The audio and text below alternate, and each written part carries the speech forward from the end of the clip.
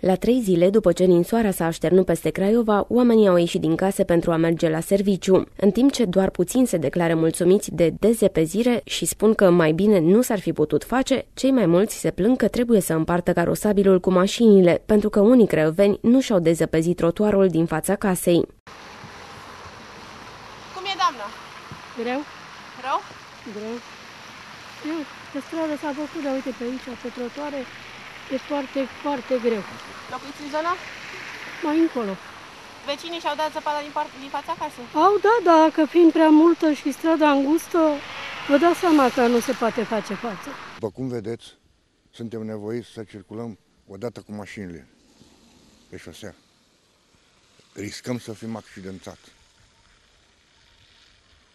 Uh, Știți că cetățenii au obligația să-și dezăpezească și cei de la bloc și cei de la casă Eu în m-am fața trotuarului. dezăpăzit chiar ieri, am desfăcut intrarea la bloc.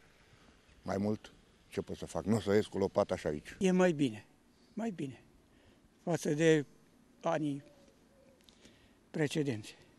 Vecinii au ieșit, că am văzut că mai Au sunt zone ieșit, unde... Dar care? Unii n-au ieșit, unii ies, unii...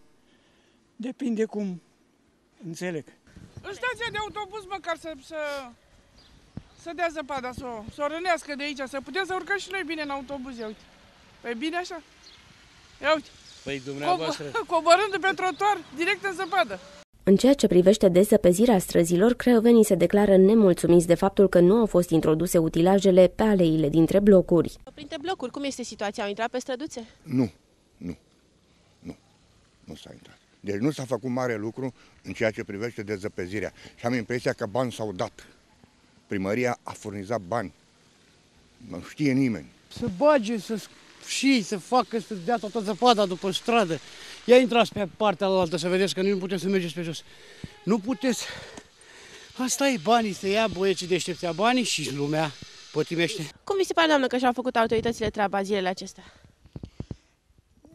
Pe anexele noastre, pe aici, pe străzile astea, nimic. Restul nu știu, dar pe, printre blocuri pe aici, eu n-am văzut nimic. Foarte bine.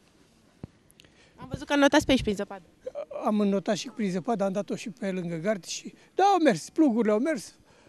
Zăpada a depus-o pe partea înaltă și mașinile nu mai ies, oricum e bine. Deci nu se vede cu ochii liberi. Sunt decât străzile principale și restul nimic. Și nici ăștia ca lume. Zăpada asta cine o ia? Că noi nu avem cum, că am luat Nu trebuie ridicată zăpada. Și mai ninge iară miercuri.